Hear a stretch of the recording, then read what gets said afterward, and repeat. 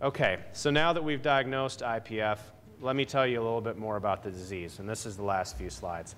IPF can have many names. The one we, the accepted, universally uh, used name is idiopathic pulmonary fibrosis, or IPF. UIP, or usual interstitial pneumonitis, is a description of the pathologic findings. Um, the British call it cryptogenic fibrosing alveolitis. Uh, other names include diffuse interstitial fibrosis, honeycomb lung, idiopathic interstitial fibrosis, etc. Differential diagnosis. Um, there are, of course, the, the, the first thing you're going to think of is other idiopathic interstitial pneumonias, uh, and these are them. Connective tissue disorders, asbestosis, that produces UIP. Hypersensitivity pneumonitis, there was a study, I think, by National Jewish uh, a number of years ago that estimated that about 10% of the patients who uh, come to lung transplant at their facility are thought to actually have chronic HP instead of uh, IPF. Sarcoidosis, chronic drug toxicity. I have a couple patients that have taken macrodantin uh, for many years and uh, have uh, some chronic toxicity issues. Other diseases, including COPD, heart failure, and lymphangitic uh, spread of carcinoma. Again, IPF is the most common of the idiopathic interstitial uh, pneumonias. Um, it's associated with the pathologic pattern of UIP, which I'll show you some uh, slides of in a minute. Poor prognosis. The average survival is three years from the time of diagnosis.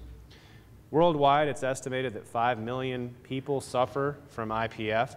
The prevalence in the United States uh, was estimated by actually a very good trial, a very good epidemiologic study done by uh, uh, Ganesh Raghu to be about 14 to 42 per 100,000 population, depending on the criteria you use. So if you take, when I made this slide, I used the, the Census Bureau estimate of 306 million people in the U.S. So the prevalence uh, estimate in the U.S. using that number is between 43 and 130,000. Uh, it's of course thought to be underdiagnosed. Uh, the prevalence of course increases with age. IPF, uh, while it's not strictly a disease caused by smoking like emphysema and COPD, IPF is associated with cigarette smoking with an odds ratio of 2.3 for smokers. It preferentially affects men with this male to female ratio, 2.5 to 1.6. Usually occurs in the fifth, between the fifth and seventh decade, with 66% of patients uh, older than 60 at the time of diagnosis. The mean age of diagnosis is 66 years. Familial IPF, and, and Dr. Lloyd will tell you that this is an underestimate, but it usually accounts for about 0.5 to 2% of cases. Um, and that's defined by two or more verified cases within a primary family unit. That includes parents, siblings, or children. The clinical features of familial IPF are identical except for an earlier age of onset. And in a large study of 111 families, this showed autosomal pattern of inheritance, and I think it has a variable penetrance. The course is variable. Some patients have a slowly progressive course, while others experience exacerbations that lead to large declines in lung function, like the patient I showed you earlier. And this leads to respiratory failure and sometimes death. Uh, this is a slide I also uh, got from Dr. Noth um, from a, uh, a paper um, in 2003 in the Red Journal. And this shows basically the, the stepwise theory, and stepwise progression of IPF.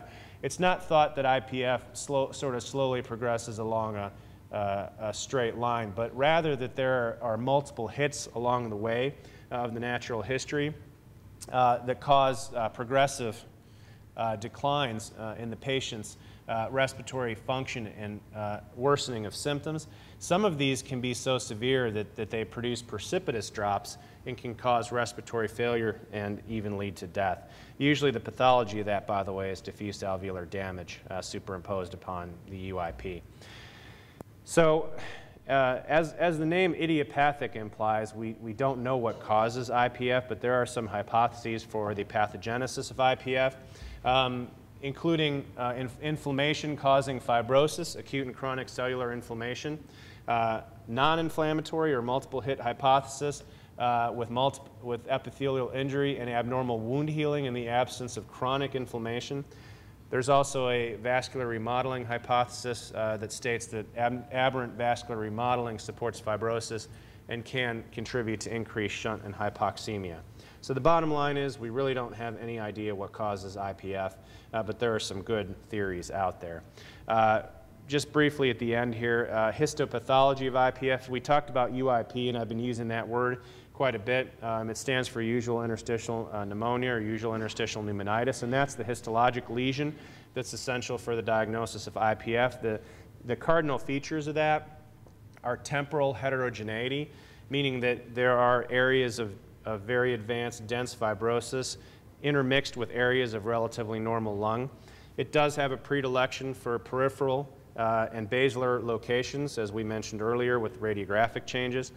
There are these interesting uh, little uh, uh histologic features called fibroblastic foci uh, that are uh, aggregates of proliferating fibroblasts and myofibroblasts in relatively young connective tissue, and that's been a focus of a lot of research.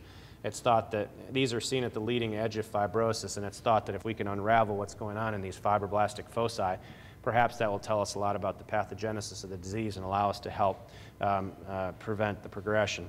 Microscopic honeycomb cysts, as, you, as we see even in, in on high-res CT, you can see those microscopically as well.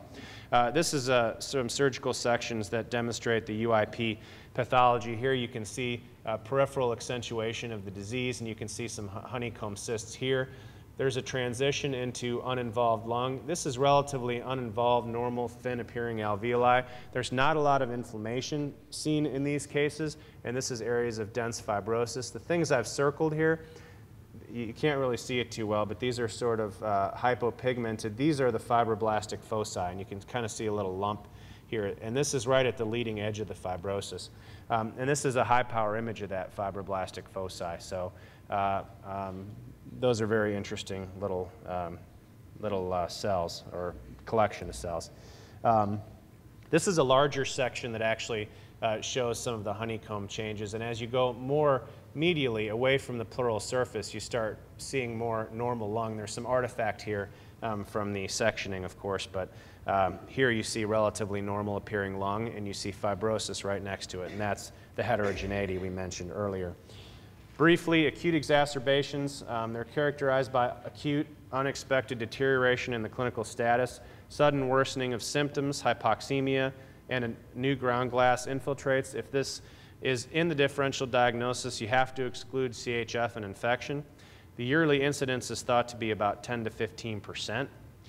The pathology, as I mentioned earlier, is UIP with superimposed DAD or organizing pneumonia. The prognosis of these acute exacerbations is poor. The mortality can be as high as uh, 96%. Um, it's treated generally with corticosteroids, but there's no proven benefit to doing that. Uh, and again, this is just another slide to show you uh, the stepwise progression and some of the severe acute exacerbations that can occur. Um, and with that, I think I'm done.